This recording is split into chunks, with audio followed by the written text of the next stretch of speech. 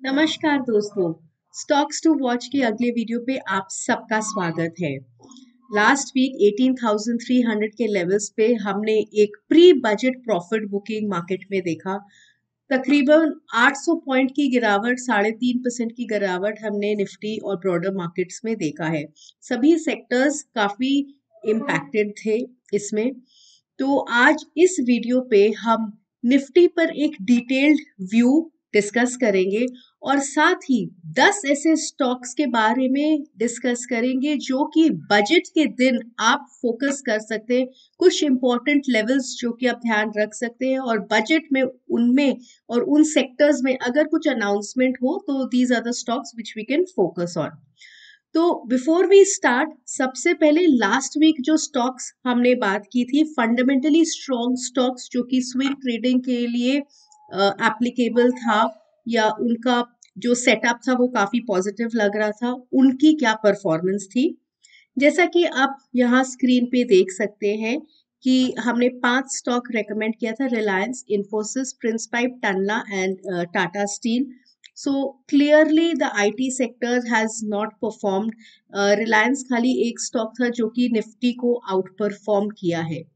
Now दोस्तों important point यहाँ पे ये है बोलने की कि सीज़न इन्वेस्टर्स ट्रेडर्स या एनालिस्ट हम सब ही मार्केट में प्रोबेबिलिटीज को जोड़ रहे हैं एक से। एक और मार्केट सुप्रीम है प्राइस इज़ सुप्रीम हम हमेशा ये बोलते हैं कि भाव भगवान है। तो as a successful stock market participant आप रॉन्ग हो सकते हैं और वहाँ यही है कि आपको अपनी इमोशनल सैनिटी को प्लेस में रखना है और डिसिप्लिन रखना है। तो इस तरह का मार्केट में जो हमने गिरावट देखा अगर आपका स्टॉप लॉस आपने रिस्पेक्ट किया है तो आप कहीं इफ़ेक्ट नहीं होंगे और जैसे ही इन स्टॉक्स में सेटअप वापस अगर तेज़ी की तरफ़ बढ़ेगा तो हम वापस इसमें री एंटर करने की सोचेंगे। सो so, अब हम चलते हैं कि निफ्टी पे आगे हम क्या एक्सपेक्ट कर सकते हैं? स्क्रीन पे जैसा कि आप देख सकते हैं निफ्टी का चार्ट फ्राइडे की ट्रेडिंग एक्शन में डेली चार्ट्स पे निफ्टी एक perfect textbook style doji create किया है। Volume activity Nifty futures contract में भी कल हाई था।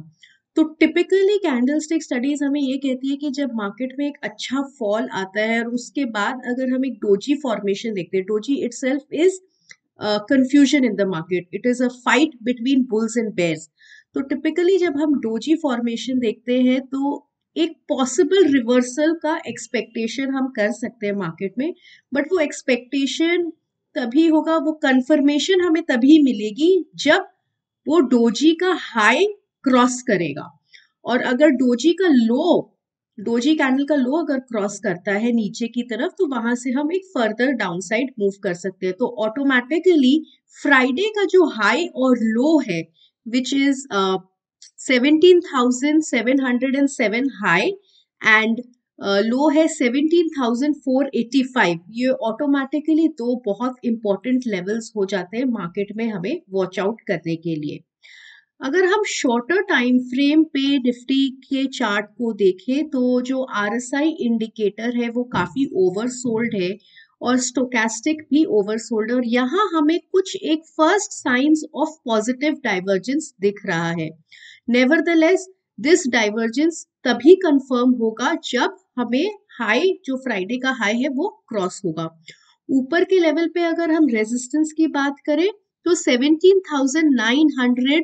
17,970 इज़ अ रेजिस्टेंस एंड उसके ऊपर obviously 18,300 will act as a strong resistance support की अगर हम बात करें तो 17,150 नेक्स्ट सपोर्ट होगा अगर फ्राइडे का ट्रेडिंग लो ब्रेक होता है और 17,150 के नीचे 16,900 will be the important support एक चीज़ और पॉइंट आउट करूँगी निफ्टी के चार्ट पे कि अगर हम फिबोनाकी रिट्रेसमेंट लेवल ड्रॉ करें तो ये जो six seventeen thousand six hundred का लेवल है वो बहुत इंपॉर्टेंट और हमें क्लोजिंग वहीं पर ही मिली है। जो लास्ट के ट्रेडिंग एक्शन आवर में जो मार्केट ने रिबाउंड किए the closing has been above 17,600 which is a positive trigger in the market weekly charts अगर हम देखें मार्केट में तो मूविंग एवरेजेस के ऊपर है।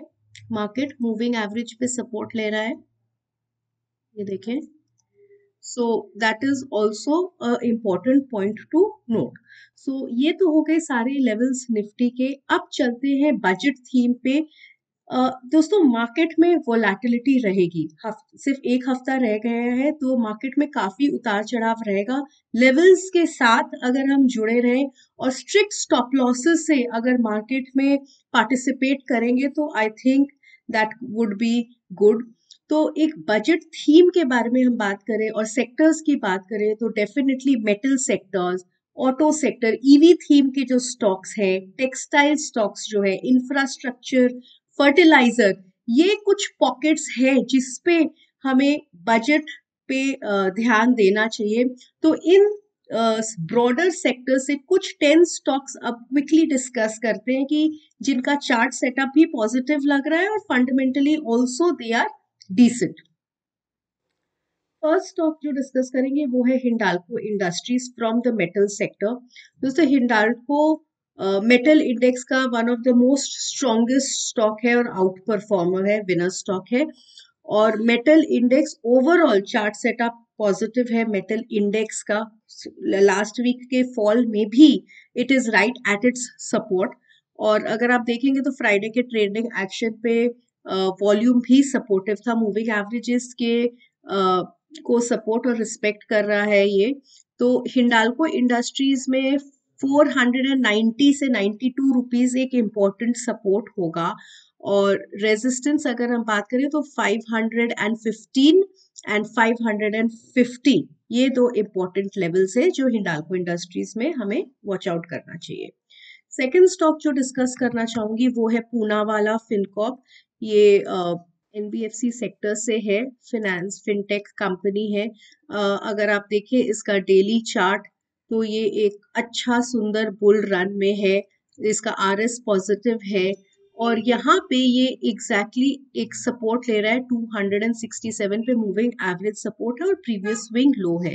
तो 265 267 रुपीस एक सपोर्ट लेवल है पूना वाला पे और रेजिस्टेंस की हम बात करें तो 300 रुपीस रेजिस्टेंस है, उसके ऊपर ये और हाई मोमेंटम गेन कर सकता है। थर्ड स्टॉक जो डिस्कस करना चाहूँगी वो है फर्टिलाइज़र सेक्टर से Chambal Fertiliser Chambal Fertiliser again अगर आप देखेंगे इसका डेली चार्ट इसका आर एस बहुत स्ट्रांग है, ये कंसिस्टेंटली मार्केट को आउट परफॉर्म कर रहा है। वेन एवर मार्केट्स में अगर एक पुल बैक आया है और स्टॉक ने करेक्शन दिया तो वॉल्यूम एक्टिविटी डिप हो गया, जो कि एक टिपिकल डाउ थ्योरी और बुल मार्केट का कैरेक्टरिस्टिक है। तो इम्पोर्टेंट सपोर्ट की अगर हम बात करें तो जो ये प्रीवियस हाई था 435 रुपीस का इम्पोर्टेंट सपोर्ट होगा, जो मार्केट वोलेटिलिटी में अगर हम देखें तो उस पर ध्यान दे सकते हैं। 435 एंड 450 टू सपोर्ट्स रेजिस्टेंस की अगर हम बात करें तो 485 रुपीस रेजिस्टेंस होगा चंबल फर्टिलाइज़र पे। नेक्स्ट स्टॉक जो डिस्कस करेंगे, वो है टेक्सटाइल से रूपा। दोस्तों, इस पे अभी लास्ट वीक ही कुछ इंस्टीट्यूशन बाइंग हुई है इस स्टॉक पे। फंडामेंटली स्टॉक का स्ट्रक्चर इज़ वेरी गुड यहाँ एक बुलिश गैप भी आप देख सकते हैं। तो definitely 490 rupees is an important support in Rupa 490 and 503 rupees these are the two levels for support resistance की अगर हम बात करें तो ये जो प्रीवियस स्विंग हाई है 560 वो रेजिस्टेंस एक्ट करेगा रूपा नेक्स्ट टॉप जो मैं डिस्कस करना चाहूँगी again from the textile industry will be Gokex that is Gokaldas trading exports the stock chart is beautiful. Every time the stock price rises, the volume activity has been supportive. अगर आप देखें तो ये stock approximately nine and half percent Friday के trading action में positive था with volumes and delivery यहाँ कहीं भी हमें एक टॉपिंग आउट साइन नहीं दिख रहा है। और अगर आप देखें तो हर एक राइज के बाद ये टिपिकली कुछ स्मॉल करेक्शन देता है। तो अगर हमें ये छोटा करेक्शन इस स्टॉक में अगेन मिले और 370 इंपॉर्टेंट सपोर्ट लेवल्स है 370 के आसपास अगर ये स्टॉक मिले तो आप इसको कंसिडर कर सकते हैं। और रेजिस्टेंस की अगर हम बात करें तो 407 408 रुपीज़ इसका एक रेजिस्टेंस होगा। अगर हम मंथली चार्ट में आपको दिखाऊँगी तो ये देखिए, ये इसका 400 फाइव से four hundred and eight rupees का जो जोन है, वो ऑल टाइम हाई है। इसके ऊपर अगर ये क्लोजिंग देगा तो यहाँ से इसमें और तेज़ी हम देख सकते हैं। नेक्स्ट स्टॉक जो मैं डिस्कस करना चाहूँगी, वो है सोना कॉम्स दोस्तों, ये ईवी e थीम का एक मेजर प्लेयर है सोनाकॉम और यहाँ अगर आप देखें तो लास्ट वीक इस स्टॉक में काफ़ी गिरावट आई है। और जो 690 लेवल्स है, वो एक स्ट्रॉन्ग सपोर्ट है इस स्टॉक का। तो स्टॉक एक अच्छे सपोर्ट पे मिल रहा है रिस्क रिवॉर्ड रेशियो फेवरेबल है तो इस स्टॉक को आप देख सकते हैं, ध्यान दे सकते हैं बजट के आसपास 690 695 सपोर्ट रेजिस्टेंस अगर हम बात करें तो 795 एंड 830 इस स्टॉक का रेजिस्टेंस होगा। नेक्स्ट स्टॉक जो हम डिस्कस करेंगे वो अगेन एक ईवी uh, थीम का प्ले है टाटा पावर टाटा की कंपनी है we know that the fundamentals are strong and EV theme में एक मेजर प्लेयर है तो सपोर्ट में ये मूविंग एवरेजेस पे कंसिस्टेंटली सपोर्ट ले रहा है ये stock overall structure chart positive है तो 238 and 200 23 rupees are strong support in Tata Power.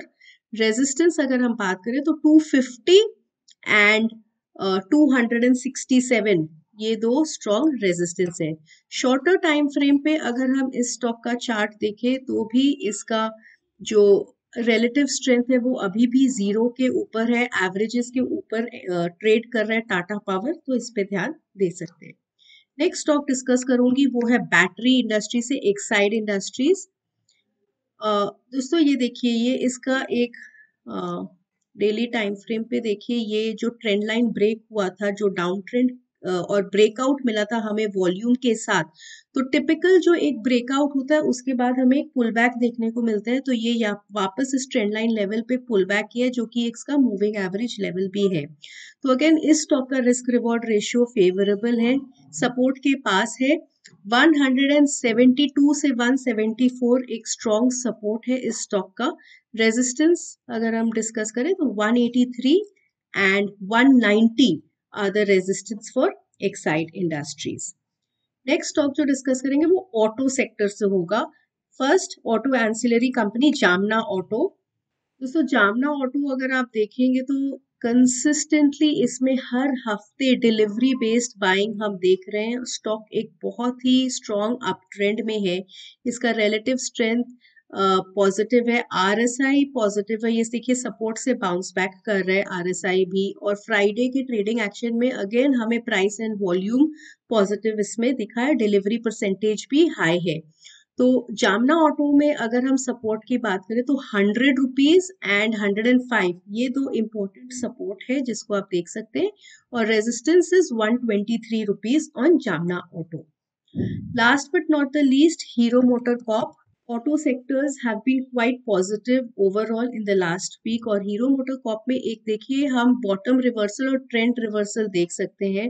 Market जो डेली के मूविंग एवरेज है, वो पॉजिटिव क्रॉसओवर दिया है। वॉल्यूम के साथ प्राइसेस में ऊपर की बढ़त हम देख रहे हैं। आरएसआई जो है, वो एक नया हाई हिट किया है और जो रिलेटिव स्ट्रेंथ है, वो अभी अभी ज़ीरो के ऊपर गया है। तो यस सपोर्ट की बात करें तो 2650 हीरो मोटर कॉप पे एक इम्पोर्टेंट सपोर्ट होगा। और रेजिस्टेंस की अगर हम बात करें तो 2785 एंड 2935 ये दो इम्पोर्टेंट रेजिस्टेंस होगा हीरो मोटर कॉप पे। दोस्तों, ये तो था कुछ 10 स्टॉक जो बजट पॉइंट ऑफ़ व्यू से आप फोकस कर सकते हैं। प्लीज़ रिमेम्बर कि मार्केट में अंडरलाइन वोलेटिलिटी बढ़ेगी। एक हफ़्ते बजट के पहले तो आप लेवल्स को स्टिक करिए और जो स्ट्रॉन्ग स्टॉक्स है, उनको risk reward ratio with strict stop loss आप उन पे ध्यान दे सकते हैं। आशा करती हूँ आपको ये वीडियो पसंद आया। धन्यवाद।